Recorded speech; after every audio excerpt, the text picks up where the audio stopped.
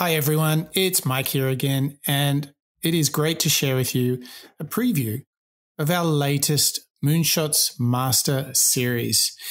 This series is where we collect all the wisdom that we've learned from over 140 plus shows. And what we do is we study a particular topic and we bring all the best clips and practices together so you get your own little masterclass. And what you'll get in each of the Moonshots Master Series is a show dedicated to your personal transformation or perhaps to problem solving, decision making, thinking better, all that kind of good stuff. Or lastly, it will be about leadership. Those are the three big buckets that all the Moonshots thinking fits into personal transformation, thinking better, and leadership. That's right. And we pick all of those great clips from superstars, entrepreneurs, and authors and wrap it all up together. Now, you're only getting a preview of this. If you'd like to listen to the full show, get all the tools and all the goodies that comes with the Moonshots Master Series, visit moonshots.io, click on the members area and sign up. Be our patron. It's only a dollar a week and you'll get a complete masterclass just for you every single month. So head over to moonshots.io and become a member. But for now, enjoy the show.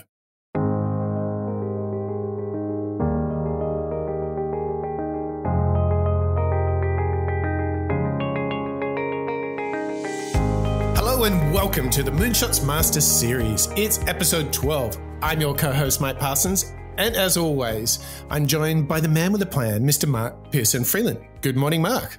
Good morning, Mike, and good morning, members, as we uh, delve into a brand new topic within the Master Series. I mean, Mike, as a little bit of a teaser, today's really us taking the opportunity to talk about something pretty big, isn't it?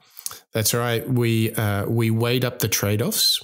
We did the uh, profit analysis, and we came to one great mental model that we should all be spending time studying, learning, and practicing. Mark, where are we going today? Today is all about opportunity cost. This framework within the idea of critical thinking, I think, has really come through in our recent productivity series, Mike, on mm. the weekly show. But it's also something that I think most of us may be aware of, but probably haven't spent too much time digging into really understanding what opportunity costs are and the perhaps subconscious decision making a lot of us go through when we're weighing up what to spend our time on and our focus on. And I think today is a really a big opportunity for us to delve into opportunity costs and just understand how we might be able to take a little bit more ownership, I would say. Hmm. I'd say, you know, you could say, build on that and say, being more I think it's almost a way of being a little bit wiser when you make mm. a decision, don't you, Mark? This opportunity cost thing. It's about not only analyzing a particular option that we might have to take, but doing that in context of all the other options that we have. What do you reckon? Well, I think, yeah, absolutely. Uh, right now, as we're all aware of, is a time where I think we're maybe distracted, or at least we've got more going on than perhaps ever before. We've talked about it uh, in the show previously. You know, we've got our devices pinging us all the time, whether it's emails and notifications, and that naturally uh, takes your your focus away from whatever it is that you're trying to do. And I think what is clear as we try and look at ourselves and judge what we spend our time on is that sometimes it kind of feels like it's all out of our control, doesn't it? you know, other people requesting things. We get dragged into other areas. And that kind of feels a little bit overwhelming, I would say sometimes. And that's where we start to lose, mm. as we'll find out today, the opportunity to spend our time on other areas that perhaps might be more important to us. Yeah, I you know when I think about opportunity cost, the the the, the best way I can make the case for it is how many times we make the statement, oh, if I had not only known that at the time, or with the benefit of hindsight, I would have mm. done something differently. Well, I think opportunity cost is the chance to actually weigh up your options, your trade offs, their implications. Um, prior to making uh, those those sorts of decisions, don't you? I think it's a way of um, having, um, you might even go as far as saying less regret of how you spend your time mm. because, Mark, do, tell me this: Do you not always find that much of your working time, if you were to look at the average day or week, the trade offs that you're making is like, okay, I've got a lot to do. It's a question of what am I not going to do this week? Mm. And and that's an interesting break from the structure that perhaps we've all um, we naturally think we're going to do because it's a matter of prioritization. I'll do this today and then I'll come to that one tomorrow. But really, exactly like you just said, you're making an active choice to not spend your time on certain things. Mm. And, and that act in itself, I think, is very, very challenging because you're naturally uh, inclined to not perhaps, dis- or at least I am, I'm, I'm not inclined to dismiss other things on my to do list. I feel as though I should try and get to everything at some point. But once you start to take ownership of where you spend your time, what focuses you're giving yourself uh, in these various, let's say, tasks or areas of, of focus or distraction, perhaps, then you can start to honestly look at your to do list, maybe your checklist, as Atul, Atul Gawande would say. Yeah. And start to, uh, you know, maximize that time that you are proactively focusing on achieving those tasks. And if you are on a mission, working on a big project, maybe you're really doing your life's work. Maybe you're just trying to be the best version of yourself. The worst thing you could do is allow all of the urgent things to take up your time and not make any time for the important things. Mm. So hmm. you also see a little bit of the Eisenhower matrix playing out here. What is urgent and important and allocating time to things that matter so that you can feel more fulfilled, more satisfied with the work you've done. You know, sometimes I get to the end of the week and I feel like events ran me. I didn't yeah. run the events. Do you ever have that? Oh, absolutely. Particularly in a time where you're emailing and slacking and calendars, you know, you just have to open up your calendar uh, on the morning that you're going to start your work and you realize, oh, no, I haven't got any time this morning to catch up on the work right. I wanted to do. And that's because your time is being almost uh, dictated by others who are calling your attention. And it's something that, you know, we actively learn with Cal Newport, Mike. Uh, the idea of time blocking and focus, uh, so that you can get your your deep work done. Uh, once you start to understand what part of the day you're most efficient at. There you have it, Mark. So we've made a very good case for opportunity costs. It, it seems like it can uh, solve all sorts of challenges that we face in our working days, our working weeks. So, Mark, where do we want to open up this adventure, this rip roaring ride into the world of opportunity cost. That's right. I think I want to take the opportunity to introduce Brit Lewis from Mr. Hancock, a YouTube channel, who's going to help us get inspired around this idea of opportunity cost, as well as understand a little bit around what the number of possibilities are that exist around us and therefore how hard it is to determine what to focus on. And that really starts with the essence of scarcity. Every day, everyone makes a variety of decisions, choosing between two or 10 or even hundreds of different possibilities. Actions tend to be the best indicator of preference of what people actually want, but in doing so, people deny themselves other options. This is the essence of scarcity. Everyone can't have everything all at once. With every expressed preference, there exists a next best option, something you would have done if the first option wasn't available. This is called the opportunity cost. Because you do one thing, you've lost the opportunity to do something else. Opportunity costs can be thought of as sort of regret, pain people bear as they imagine what they could be enjoying, even if they are enjoying what they are doing right now more. Another way to think about opportunity costs is money value, profit you would have made if you did something else, such as a business venture. Opportunity costs can be understood by accepting these principles. People face trade offs. The cost of something is what you give up to get it. To exemplify these principles, we will use the following example. It is a Friday night and you have the following options of things to do in the order of how much you want to do them. See a movie with your partner, see a movie with your friends, or study. By putting the partner first, you have already faced the trade off of friends versus more than friends. How was this trade off made? By weighing the cost and the benefit. Your benefit in this trade off is that you may be entering into a romantic relationship rather than simply keeping the platonic ones you already have. But what about the costs? Each of the above options has the cost of time. You only have one Friday night until next week, so for now, you only have time to do one thing. Both of the top two options have added the cost of spending money at the movies. However, the benefits of these options, namely being social and having fun with others, outweigh the costs, so you have placed them above the others. As stated before, for each of your top two options, your opportunity costs include time and money. How do we know this? Because the cost of something is what you give up to get it.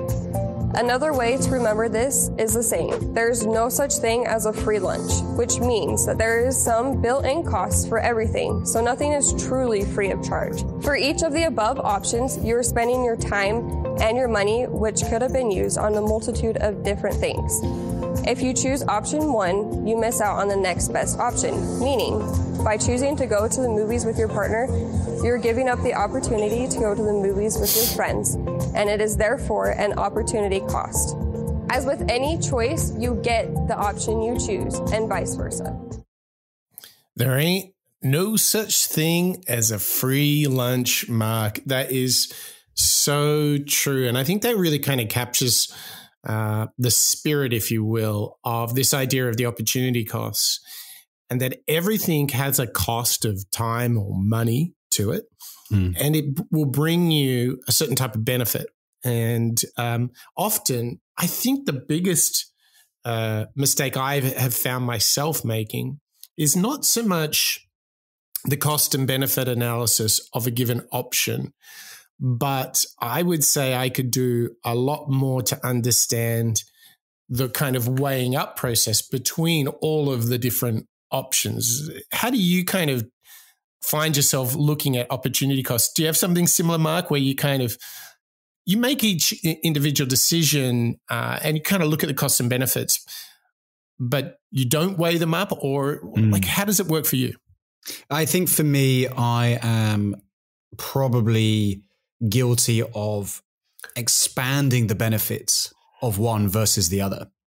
So, what I might end up doing is assuming that the benefit of doing one type of activity will outweigh the benefit of the other because of maybe ego or because of a false sense of achievement. You know, uh, maybe it's a better idea if I go for that next beer as opposed to get an earlier night.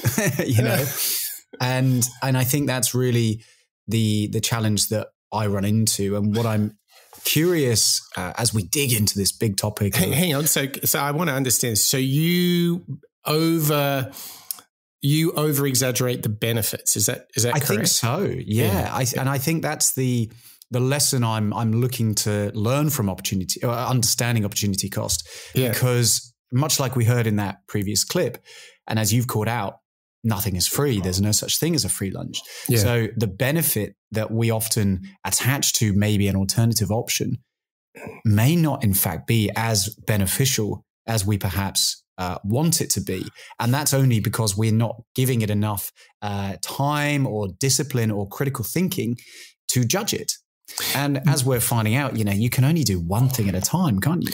Do you think then that if you could weigh up and compare the benefits of your options better, more thoroughly, that would help you be uh, less optimistic and, and more reasonable? Like, do you think if you were looking at the benefits of more beers or a good night's sleep, and then you could think about, well, then I could wake up early in the morning, I could go to the mm. beach.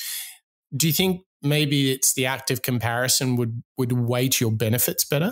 I think so. I, th- I think it's the act of being able to look at two decisions having uh, different outputs. Yeah. It's the idea of looking at them saying, okay, well, if this, if I do this, then I might experience uh, a slower morning and I'll miss the opportunity to go for a swim or go for a run. And by being very functional and being quite critical Looking at things with a lens of efficiency and productivity, as well as a desire to, you know, make the most of your time, then I think that's going to be slightly easier to go out and do to, to, to compare those different options and therefore make a choice of what to essentially invest my time in. I think that's really, really what we're going to find out today.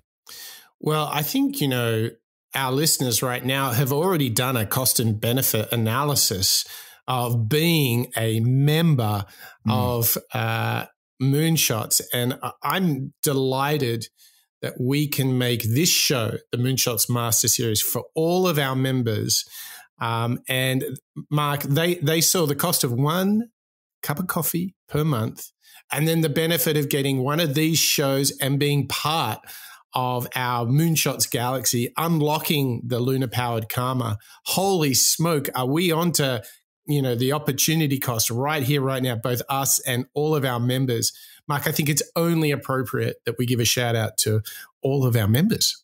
Uh, yes. And when you say all of our members, it's many, many members who just keep on growing. It's clear, Mike, that there's a group of people out there in the world listening and learning along with us. And it's great to have all of you present in all of our Master Series episodes. So, without further ado, dun, dun, dun, dun, please welcome Bob and Niles, John, Terry, Niall, Marjolaine, Ken, Dietmar, Tom, and Marjan. Connor, Rodrigo, Yasmin, Lisa, Sid, and Mr. Bonjour, Maria, Paul, Berg, Kalman, David, Joe, Crystal, Evo, Christian, Hurricane Brain, Samuela, Kelly, Barbara, Bob, and Andre, Matthew and Eric, Abby and Josie, Joshua, Chris, Kobe, Damien, and our brand new members, Barbara, Gavin, and Lasse. Welcome, all of our Patreon members. Thank you for joining us and being part of our uh, experience, Mike, of really digging into each of these frameworks, these ways of thinking every single month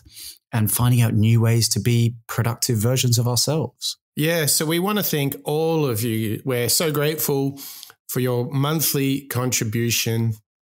It really is it gives us a really good feeling knowing that we put in so much work into this show and that you appreciate the value that we create. And so, yeah, definitely a big shout out to our brand new members, Lasse, Gavin, and Deborah.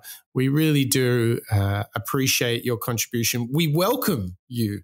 Uh, to the Moonshots uh, family. You are now officially moonshotters. You can shoot for the moon. You can be the best version of yourself as we learn out loud together here. And we are really in the midst of learning about opportunity cost. And we kind of got now have set the scene a little bit with this idea of scarcity. Now let's kind of understand this a bit more and look at some of the, the real world examples.